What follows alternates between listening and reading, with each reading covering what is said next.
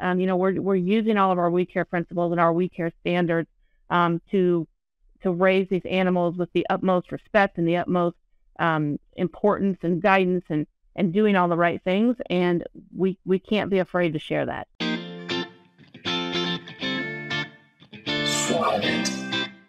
Hello, everyone. I'm Laura Greiner, your host for today's Swine It podcast. And with me today, I have Jeanette Merritt, who's the Director of Communications at Indiana Pork Producers. How are you today, Jeanette? I'm good. Thank you for having me today. Well, we're glad to have you on today. Um, before we really start talking about the topic at hand, I'm going to have you do just a couple quick moments here to introduce yourself a little bit more to our audience. I am the Director of Communications for Indiana Pork. I'm in my eighth year here. Uh, I have a a great opportunity to work with our pig farmers all around Indiana and our consumer audience. Uh, it's a fun job. Uh, there's a lot of stresses, but it's fun because my husband and I are also fourth generation pig farmers. Uh, we farm with my family um, on our farm in north central Indiana. We are a farrow to finish operation. We do also have some contract barns. Uh, there's a dad, an uncle, a cousin, and my husband uh, who all work together. So the, the fun and the challenges of farming as a multi-generational family. Uh, we are raising, uh, hopefully, the fifth generation that will want to come back to the farm. Uh, we currently have a freshman at Purdue um, who is studying agriculture. Uh, we have a sophomore or a junior in high school, a daughter um, who's 16, and a 12-year-old son. Um, and all of them want to be involved in ag. Uh, my son seems to think he's going to go play professional baseball first, and then he'll come home and farm. So I, I think he might be a little misguided, um, but uh, I, I think one of them will return to the farm um, and and continue on that tradition. Mm-hmm. Oh, that's wonderful. It sounds like you're certainly busy in the household. Very busy. Um,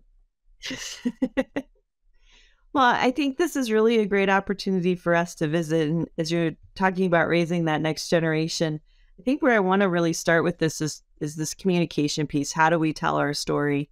Um, because clearly you're you're doing that not only with your children but in your in your job day to day. And so let's talk maybe first about you know what are some things you're seeing in terms of communicating with producers, and then I think we'll talk a little bit about the consumer as well. So, um, what are some key pieces that we would like our our producers to be thinking about in terms of communication today?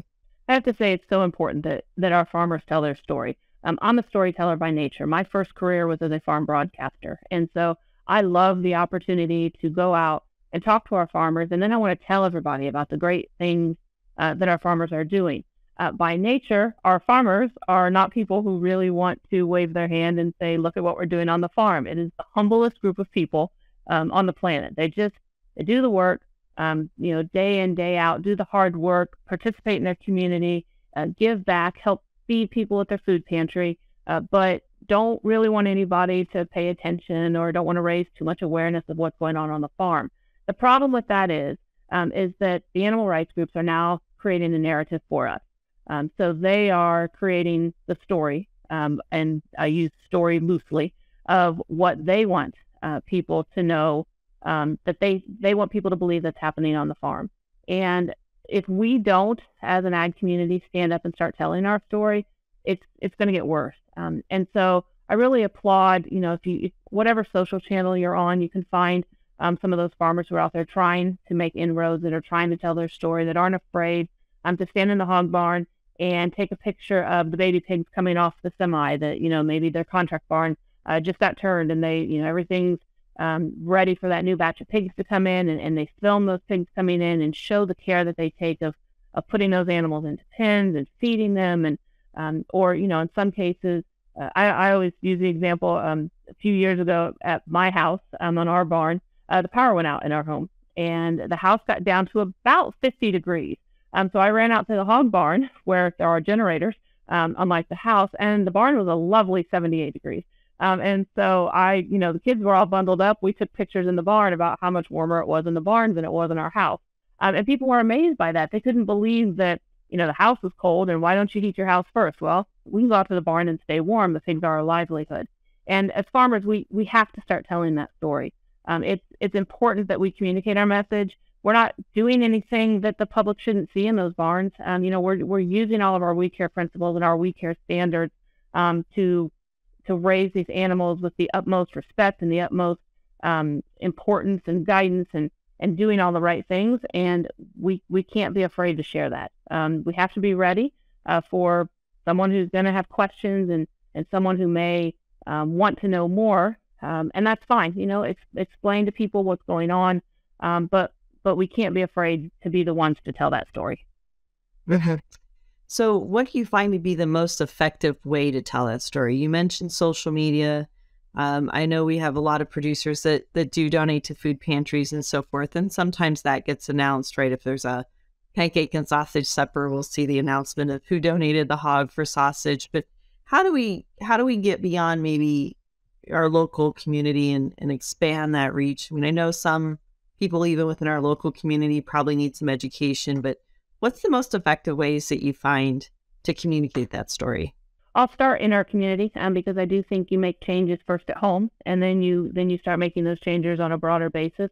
Um, I am a huge proponent of however you can give back to your communities um, pays off in the long run, especially uh, being kind to your neighbors, uh, being um, you know educating your neighbors on what's going on in those barns.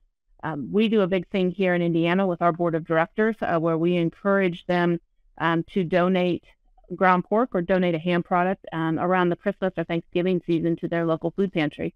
Um, started this because if we think back to the pandemic um, and what happened to those food pantries, it wasn't just people in the community that were standing in those food pantry lines. All of a sudden, it was people, it was our neighbors, it was people we knew um, who had never had to utilize a food pantry before. And so our farmers, you know, took the opportunity to have a pig processed and donate a couple hundred pounds of ground pork to their food pantry. And that, you know, they do it quietly because, again, you know, that's just the group of people they are. We're going to be humble about it. But I've kind of forced my board to um, tell me about it, take pictures, so I can kind of blow it up and, you know, share it on social media and really pat them on the back and explain farmers feed the world. And we said that for years. And, you know, that's, that's great. But the world is big. And for a lot of people, the world is far away. Um, over the past three years, people want to know that we're feeding our neighbors. And when we look at farmers feeding their neighbors um, and how they're giving back into their food pantries and what they're doing with their communities, be it like you said, a pancake, a pancake breakfast or um, something like that, um, you know, that makes a huge difference. That really does impact people. And, you know, people like county commissioners and county councils kind of remember those things. Um, and so when when ordinance come before them or questions, you know, they can think, well, I need to go ask somebody who knows about this, you know, and then they make the phone calls uh, to the local farmer and, and ask for some of their input and guidance on that. If we think about how to do that bigger, um, I will say social media. And um, I say that as someone who has not created a TikTok account yet. Um, I, I need to, but there's a lot of farmers out there who are doing a really good job. Um, so Indiana Pork does not yet have TikTok, um, but I'm being I'm I'm being encouraged to look at it. Um, so there's there are some really good farmers who are out there, really taking the opportunity to show uh, what's going on on the farm, and they do get attacked. Um, if you read some of the comments, if you read um, people who have their thoughts on it, and they're not, a, they don't back down. They're not afraid to say, "Hey, this is why you're not right," and this is here's the actual facts. And you know, as farmers, we have to not be afraid to take that camera um, and just show what's going on. I've you know I've taken you know to Facebook or Instagram in my own barn and you know shown the baby pigs, shown what's going on, that why we have farrowing crates, and you know, tried to explain the difference between a two pound baby pig and a 400 pound sow. And when it comes from our farmers, I think to explain it um, to their social media following, um, I think people listen and they really, you know, they'll pay attention. And it's just a matter of stepping out of our comfort zone a little bit and not being afraid um, to maybe take a bigger step to help to help share our story in that bigger space. Mm-hmm. And I think you're absolutely right. That hesitancy around people making comments. And I think it's something, you know, I, I do follow different TikToks and I don't have an account either. Um, but I like to to watch some of the agricultural ones to see what people are posting and and review the comments to just kind of gauge where a consumer is and their knowledge and and the questions and curiosity that they have and and so when our, our farmers are, are thinking about getting involved in that way what might be some things that they want to consider to maybe reduce some of those potential negative things that they're worried about? First, I'd go watch somebody who's doing it well. And you can, you know, you can start Googling people on social media or farmers or agriculture on social media and find some of the accounts who who answer those questions well. There's there's some great pig pig farmer accounts. There's some really great dairy ones as well. Uh, both of those livestock industries tend to get you know their fair share of um, the activists who who come after us and you know with their narrative that um, they want to troll everything that gets done. Um, so I encourage watch the people who are doing it first um, and see how they address it. And then when you start thinking about the story you want to tell, you know, frame your frame your story.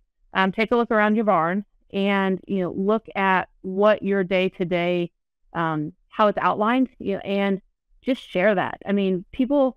I'm. I think there's still the ideologic that like farmers are leaving at eight o'clock and then they come home for the lunch and I mean and you know then they're all wrapped up by five o'clock and you know put a bow on it the day's done um, and for most farmers that's definitely not how any day looks um, every day is different and so i think it's always encouraging to to walk through the day and to explain all of the different roles a farmer plays on their farm um, from you know veterinarian sometimes to you know food scientists and um, you know the all all sorts of different things that that a farmer does um, and explain that. Uh, I think agriculture also sometimes um, is considered a career that you don't have to be very smart to do, and and I we can very easily dissuade people um, on that when you start explaining what goes into this job. Um, as far as dealing with um, people's questions, um, I think there's always you can always tell the people who have no interest in learning anything. They're just there to spout off um, an agenda. Um, there, and then there's people who are firmly in your corner, like they believe every, they love everything you do. The people who have questions, I call them kind of the movable middle. Um, so those are the folks that you know they they need information. They're very interested. They want to learn more. Um, maybe they don't know a thing, um, but they're interested in what you have to do, and they have genuine questions. And so being able to not spend a whole lot of time on the activists because you'll just run yourself into the ground and end up with a giant headache. Um, but when the people, when your when your viewers come with real questions and have you know real comments, um, working with those folks, I think, is where we can have the big impact. Mm-hmm. Absolutely, and I think too, one thing if you're not very comfortable working in that that realm is consider participating in an Operation Main Street or something like that that can give you some social media training or some comfort in how you communicate with the public. You bet. Um, we certainly have some resources both at state level and, and national level that could help them. They do, and I think um, you know for farmers who might be involved in India or their farm bureaus, I think um, uh, American Farm Bureau has done some of that social media training. I know sometimes the states do as well. Um, different agricultural organizations provide that, so there's plenty of what uh, possibilities out there for you to learn. So there's never an excuse of I don't have anywhere to go learn it um, that that you can use. You there's always some place where you can find the knowledge. Mm-hmm. Absolutely. One of the things that came to mind as you were talking there is, well, you said we can show all kinds of different aspects when we're in the barns or just outside the barns, but what's the consumer most interested in knowing about it? If you visited with the consumer in your state, what what would be something that they're most curious that we're doing at the farm level? I think the biggest problem for pig farms is that we don't look as pretty as cattle farms.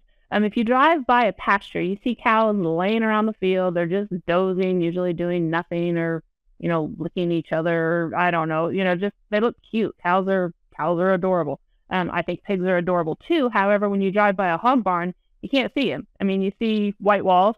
I mean, you have no idea what's going on on that farm. So automatically, it looks like we're not welcoming people or we're not as welcome as a cattle as a pasture because they can't see those animals. Um, so I think people want to know what's going on inside the inside the barn walls, um, and they just want to trust us. And so being able to show that you know we take our biosecurity measures. You know, here's here's the shower that we're using before we before we enter the barn. Here's this new set of clothes we're now putting on. Um, here's our employees. Um, here's here's all the families that you know are involved in working on our operation, be it by blood or people who just work there forever. Um, that you know that we consider family. Um, and here's all the precautions we're taking in these barns. Um, taking them through, you know, farrowing, um, you know, watching those baby pigs being born. Um, I don't care if like you don't like anything about livestock production. There's something about an animal being born that's just pretty magical. Um, you know, it's like a human human being born is magical. I I love watching baby pigs being born. It's just you know, it's just a cool thing. It's life coming into the world. Um, so you know, showing that and then being able to show the immediate care that our farmers then start taking with those animals, grabbing a baby pig, wiping it off, making sure it's um, it's getting its nutrition as soon as it needs it. And if there's something wrong, um, then how are we going to take care of that baby pig? You know, what what steps do we need to do to make sure that um, the pig is going to survive? Um, those types of things. I just think I just think consumers just want to trust us. Um, they're told not to, and you know the the activists are out there saying that they shouldn't trust us, that we're doing evil, bad things in those barns, and um, we're not. And so just being able to show here's what's going on inside of the barn, and here's the trust um, that consumers can have in us, I I think is really what they want to know. Mm-hmm. Absolutely, and I think it goes beyond just animal care, right? It's it's sustainability. So yes, we do nutrient management plans, and this is how we think about what we're doing to the environment, and this is how we're trying to save water or um, you know, antibiotic use, of course, has been a, a, big topic for a while, but and I've seen a few TikToks on that too. This is why we give an antibiotic, or this is when we decide to do it. And I think again that kind of answers those big questions that people are curious about, and they've they've definitely heard incorrect information along the way, particularly around environmental sustainability and what we do with our resources. And I think that's important too, right? I just uh, heard a podcast a few days ago that caused me to start screaming at my radio while I was driving in the car, um, driving home from work, uh, that involved a very famous actress um, and whatever big platform she's decided to get herself on uh, that was bashing pig farming so bad. And boy, my head was spinning um, as she was talking about um, how pig farmers, uh, in her view, just take all this manure and we just spray it everywhere and we spray it at people's houses and we're we're causing all the neighbors to die and we're we're horrible people. And oh my goodness i i, I don't think i have any way to get to this very famous actress. I did start tweeting at her um, but didn't do any good. But it, you know when i look at that type when i as i was listening to that and i was screaming at my radio while she was wrong um, you know that's the type of misinformation is out there um, and that's you know when you have these people that are spreading all this stuff you know it just grinds on you um, it makes me realize that we always have a job. Um, there's, you know, anybody involved um, in agriculture always has a job to communicate, and however we can, however we can help um, re-guide people uh, and educate them. There, there is always, always a need because there's always people out there who are who are very miseducated and misguided. Yeah, absolutely. It's a really good point. I'll have to find that podcast. I'm actually now interested as to who that might be. You might yell at your radio too. I might yell. That's right. That's okay. So what so let's kind of switch it a little bit. We've been talking about the consumer in a way of how we educate, but in your role as a as a director of communications, what are some stories and messages that you're trying to share uh, with the consumer and what consumer are you currently targeting, I guess, within your state, right? What does a state pork producers association look at for their consumer audience? I will say we do skew heavily towards female um, because they are the decision maker in the home still. Um, they are the ones that are going to the grocery store, um, spending their income. Uh, we hope on you know pork chops and bacon and, and taking it home. Uh, bacon is not a hard sell. Um, that is uh, that's the gateway um, to everybody for pork, and so uh, we do we do have to educate people that not all pork is unhealthy. Just because bacon, you probably shouldn't eat two pounds of bacon in one sitting. Um, you can have some, um, but maybe not all of it um, at once. Um, so there is always an education on um, how healthy pork is for people. And so when we look at who who we're targeting, we are targeting the people who are spending money in the grocery store. Um, as a as Indiana Pork, um, we we're not encouraged. We we have shifted our marketing efforts a little bit in the past few years, where we did spend a lot of time working with um, food companies and encouraging people to go in and and order pork on the menu. Um, I still spend a lot of time with chefs, local chefs, uh, maybe independent chefs um, and because I think the work that they're doing in their restaurants is incredibly important, and we we want to support their efforts in putting pork on the plate and um, and the the audience that they have coming into their restaurants. We we use chefs for a lot of different events. We have some outstanding in chefs in Indiana, James Beard winners, and all sorts of award winners. And um, so I love working with them. I love seeing the creative ways that they use they use pork. I know we want consumers to eat there, but our efforts really have shifted our messaging to trust the farmers to that consumer. Um, so I won't. I don't say I don't. I don't have a certain age range that I'm reaching. Uh, my is spread to everybody. Um, but it is it really is aimed at uh, the the grocery shopper, probably a mom um, that's got kids at home that that are um, driving their kids around to practices after you know after school or heading to a game on the weekend and encouraging them when they when they hit the grocery store that that pork was somewhere on their menu because they trust what we're doing on the farm. Mm-hmm. Yeah, very good. Well, you mentioned kids, and, and you are, of course, in the middle of raising your own next generation, and and that's one piece that I think is really important.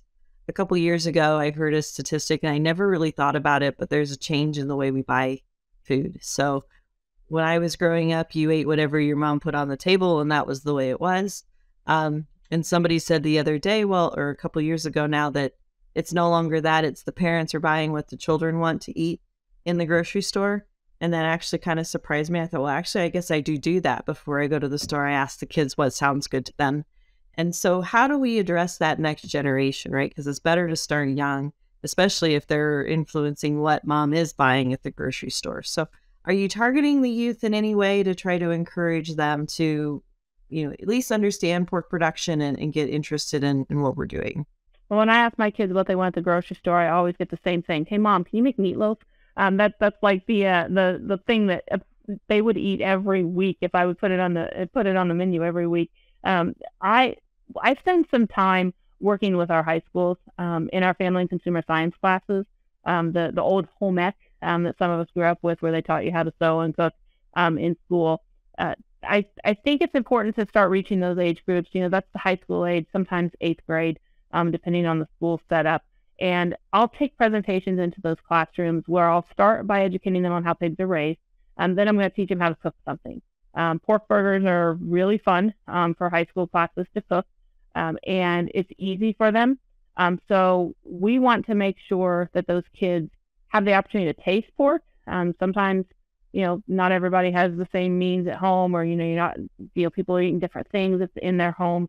Um, so we want to make sure that they know how to cook pork um, and that it will help influence them as they, you know, get into college or whatever, um, trade school or whatever the next step is after they leave high school. By working with those um, family consumer science classes, educating them first about the farm and why we raise pigs, how we raise pigs, um, it's it's always amazing to me uh, the questions you get. Um, they're still even at that age, and you know you're hearing they're hearing it from their parents. Well, how come those pigs are in barns? Don't we raise pigs outside? And um, don't those pigs want to eat grass? And um, no, they don't. They they really they really love corn and soybean based diets. Um, and so it's it's always fun to work with the high school kids because you get a whole different set of questions.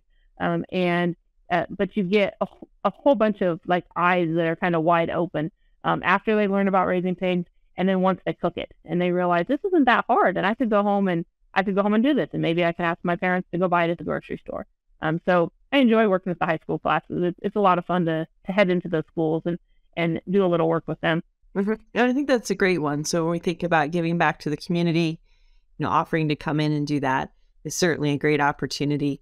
Um, we also did one um, in our community with a, a, little book that that's written on you know how pigs are raised, and we'd go in and read that to the school age children, the youth, or you could do it during a, a, library Saturday, right when they have somebody come in and read a book. Mm-hmm. You could easily volunteer your time as a farmer to say, "Hey, here I am.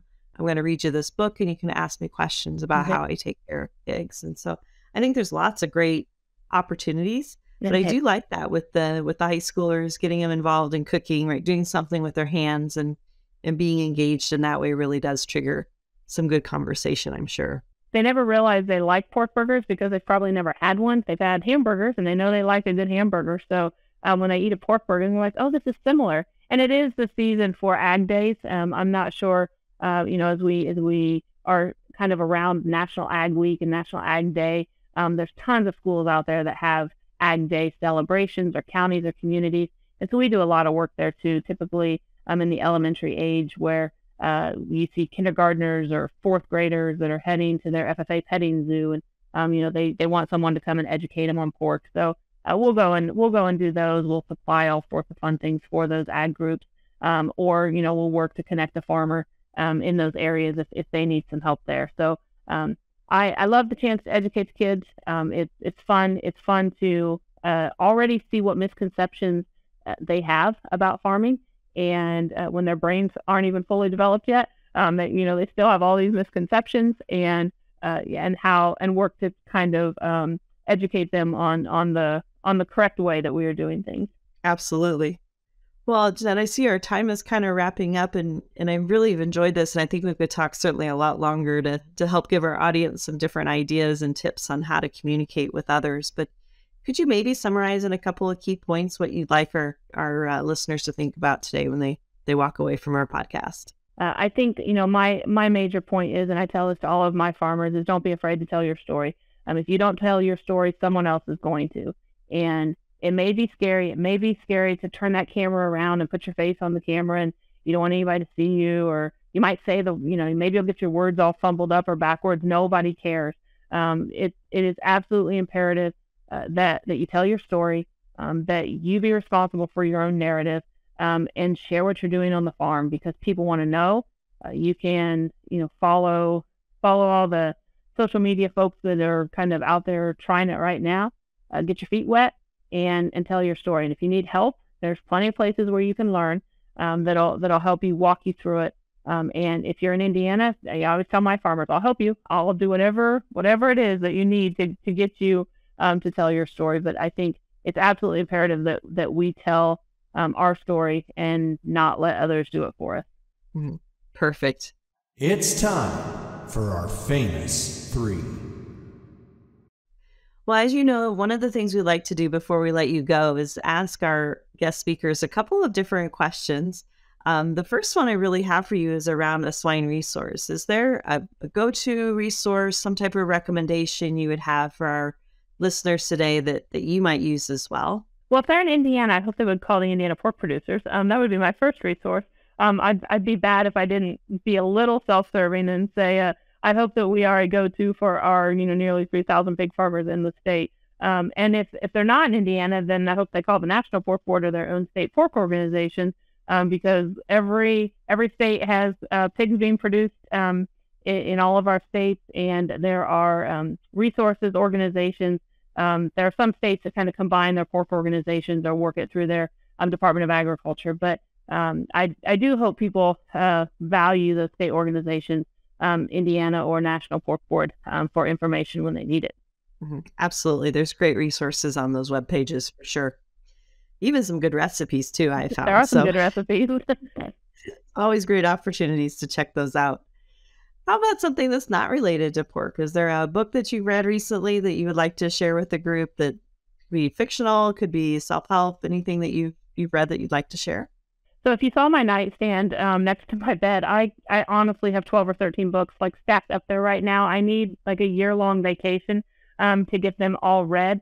Um, but I did just buy one. It is it's on the top of the pile. Um, I haven't read it yet, but I'm hoping I can start it this weekend. Um, and it has nothing to do with pork production, but everything I think to do with um, life. It's by Sister Jean, um, who is the nun um, with the Loyola men's basketball team.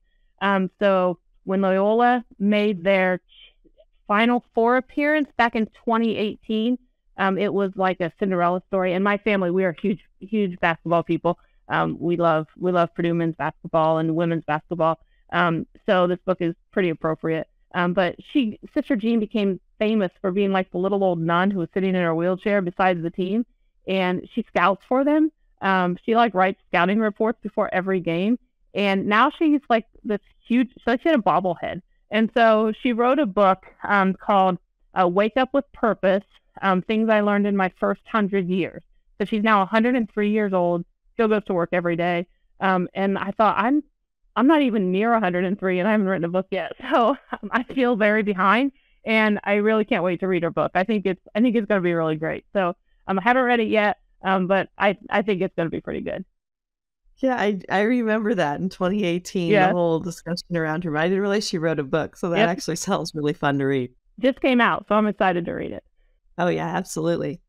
Well, the last question we'd like to ask Jeanette is really around uh, if you can think of somebody in your life that you defined as successful, and success is however you want to define it.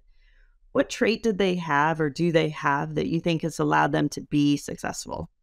So two of the biggest people in my life were uh, my grandparents, um, and they they started our family farm. Um, both of them um, have passed away. My grandma not too uh, recently, ago. Um, but they were the hardest working people I knew, um, and absolutely just would, and they never complained about anything. And when I started my career um, as an intern, my grandma looked at me and, uh, you know, giving me the life advice that the grandparents do, and she said, "Never be above any job or any task in your job." She said, "There is nobody who's above doing anything, no matter what your title is." Um, and I always got a kick. I mean, that always is played in the back of my head. Uh, my first internship in college, um, I had to dress. I was interning for the Indiana Soybean Alliance, um, and I had to dress like a soybean um, in the soybean mascot costume and march around our Indiana State Fairgrounds in 95 degree weather. Um, and it was miserable. Um, I had to do a radio interview with a farm broadcaster in that soybean costume. And when I was done, that farm broadcaster said, "If you want a job next summer, call me. I'll hire you." And that that led to my career because that next summer I took a job in radio. Um, and you know, never. So I completely think of my grandma telling me, "Don't be above anything to wearing a soybean costume to launching my career." And so the, it's that advice that that kind of always plays in the back of my head that nobody's above anything. Um, you you just do whatever whatever needs done, um, and and get the job done. Um, no matter I guess no matter what it is. Yeah, no, that's a great story. That is absolutely great. I'll, that that is wonderful, Jeanette. And I, I do want to thank you again for your time today. Um, for our listeners, one more time, this is Jeanette Merritt, who is the communications director at Indiana Pork Producers. Jeanette, thank you so much for being on today. Thank you. It's my pleasure. Imagine if, with a few key concepts, you could have the potential to create a massive positive impact by bringing from hundreds of thousands to millions of dollars for swine producers. Join us on this small group and go to the next level of swine nutrition on this seven week long elite online training in applied swine nutrition and feeding by myself and my world class invited speakers. Additionally, you enjoy an exclusive community to exchange ideas. Go now to www.eliteswinenutritionist.com.